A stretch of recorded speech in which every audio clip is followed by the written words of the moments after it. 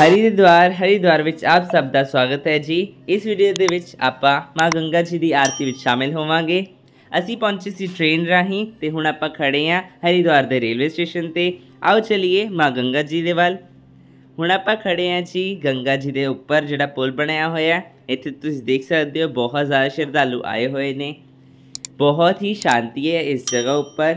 ਅਗਰ ਤੁਹਾਨੂੰ ਮੌਕਾ ਲੱਗਿਆ ਤਾਂ ਹਰਿਦੁਆਰ ਜ਼ਰੂਰ ਵਿਜ਼ਿਟ ਕਰਿਓ ਜੀ।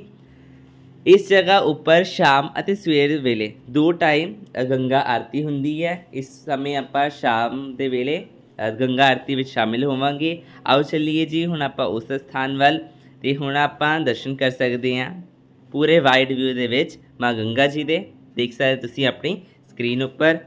ਅਗਰ ਤੁਹਾਨੂੰ ਵੀਡੀਓ ਚੰਗੀ ਲੱਗੀ ਤਾਂ ਲਾਈਕ ਜ਼ਰੂਰ ਕਰਿਓ। ਵੱਧ ਤੋਂ ਵੱਧ ਇਸ ਨੂੰ ਸ਼ੇਅਰ ਕਰਿਆ ਕਰੋ। ਹਾਲ ਤੱਕ ਅਗਰ ਤੁਸੀਂ ਸਾਡੇ ਚੈਨਲ ਨੂੰ ਸਬਸਕ੍ਰਾਈਬ ਨਹੀਂ ਕੀਤਾ ਤਾਂ ਚੈਨਲ ਜ਼ਰੂਰ ਸਬਸਕ੍ਰਾਈਬ ਕਰਿਓ ਜੀ। ਗੰਗਾ ਦੇ ਕਿਨਾਰੇ ਜੀ ਗਊ ਘਾਟ ਉੱਪਰ ਧੰਨ ਗੁਰੂ ਨਾਨਕ ਸਾਹਿਬ ਜੀ ਦੇ ਨਾਮ ਦੇ ਉੱਤੇ ਛੋਟਾ ਜਿਹਾ ਸਥਾਨ ਬਣਿਆ ਹੋਇਆ ਜੀ ਜਿਸ ਜਗ੍ਹਾ ਸਾਹਿਬ ਸ੍ਰੀ ਗੁਰੂ ਗ੍ਰੰਥ ਸਾਹਿਬ ਜੀ ਮਹਾਰਾਜ ਜੀ ਦੇ ਪ੍ਰਕਾਸ਼ ਕੀਤੇ ਹੋਏ ਨੇ ਜੇਕਰ ਤੁਸੀਂ ਉਸ ਸਥਾਨ ਦੇ ਵੀ ਦਰਸ਼ਨ ਕਰਨੇ ਹੋਣ ਤਾਂ ਜਾ ਕੇ ਕਰ ਸਕਦੇ ਹੋ ਜੀ माँ गंगा की दिव्य आरती दर्शन के लिए हर की पौड़ी पर पधारे समस्त श्रद्धालु भक्तों का श्री गंगा सभा हार्दिक स्वागत करती है माँ गंगा सभी की मनोकामनाओं को पूर्ण करती अब आरती से पूर्व माँ गंगा का पूजन व अभिषेक प्रारंभ होने जा रहा है। हमारा आप सभी से यहाँ बैठ जाते हैं। एवं निर्मलता। एवं निर्मलता। बनाए रखने हेतु। बनाए रखने हेतु। गंगा जल को गंगा जल को प्रदूषित प्रदूषित नहीं करेंगे नहीं करेंगे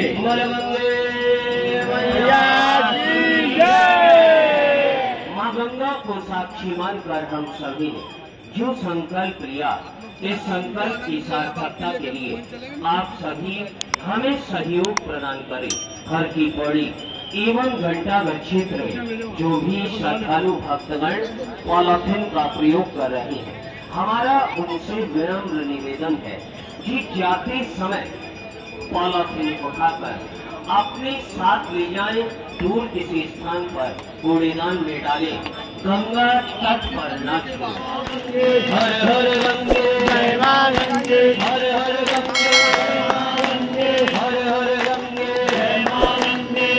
पावनी मोक्षदायनी पाप नाशनी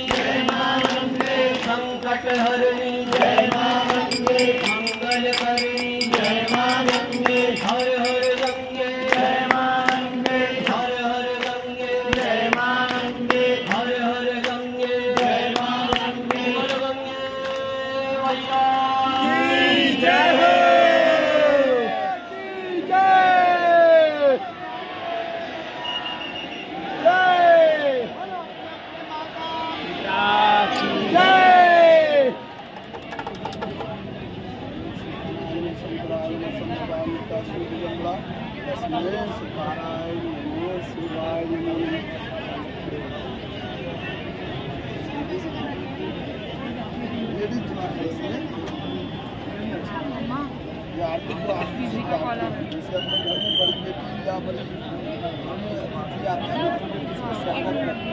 इसलिए गंगा मैया को स्वागत किया ओम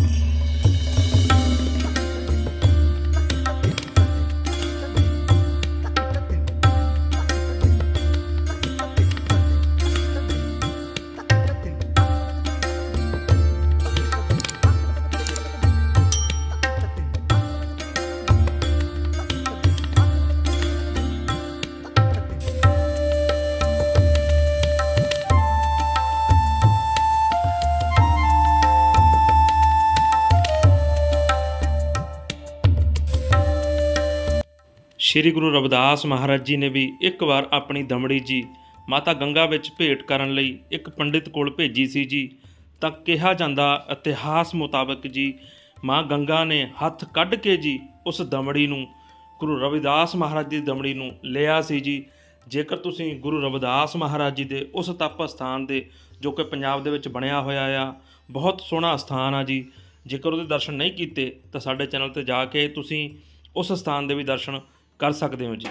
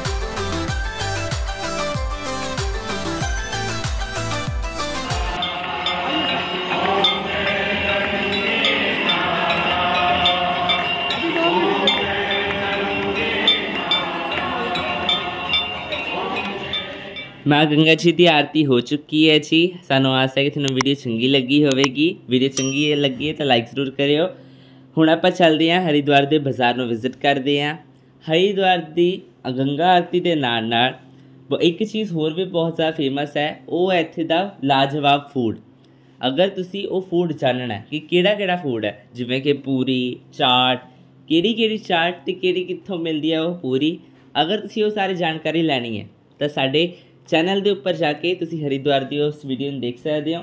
ਹੋਰ ਤੁਹਾਡੀ ਕਨਵੀਨੀਅੰਸ ਦੇ ਲਈ ਡਿਸਕ੍ਰਿਪਸ਼ਨ ਦੇ ਵਿੱਚ ਇੱਕ ਲਿੰਕ ਪਿਆ ਹੈ ਅਤੇ ਉੱਪਰ ਆਈ ਬਟਨ ਤੇ ਤੁਹਾਨੂੰ ਇੱਕ ਵੀਡੀਓ ਦਿਖ ਰਹੀ ਹੋਵੇਗੀ। ਉੱਥੇ ਜਾ ਕੇ ਕਲਿੱਕ ਕਰੋ। ਉਹ ਸਾਰੀ ਵੀਡੀਓ ਹੀ ਸਾਡੀ ਫੂਡ ਟੂਰ ਤੇ ਹੈ, ਜੋ ਕਿ ਹਰਿਦੁਆਰ ਦੇ ਵਿੱਚ ਸਭ ਤੋਂ ਜ਼ਿਆਦਾ ਫੇਮਸ ਹੈ। ਅਗਰ ਤੁਸੀਂ ਉਹ ਵੀਡੀਓ ਨਹੀਂ ਦੇਖੀ, ਤਾਂ ਜਾ ਕੇ ਜ਼ਰੂਰ ਦੇਖਿਓ ਜੀ। ਬਹੁਤ ਹੀ ਲਾਜਵਾਬ ਫੂਡ ਮਿਲਦਾ ਇੱਥੇ। ਕੁਝ ਚੀਜ਼ਾਂ ਨੇ ਜਿਵੇਂ ਕਿ ਚਾਟ ਪੂਰੀ, ਮੋਹਨ ਜੀ ਪੂਰੀ ਵਾਲੇ, ਜੈਨ ਚਾਟ ਭੰਡਾਰ ਇਹ ਜਗ੍ਹਾ ਬਹੁਤ ਜ਼ਿਆਦਾ ਫੇਮਸ ਨੇ, ਜਾ ਕੇ ਜ਼ਰੂਰ ਦੇਖਿਓ।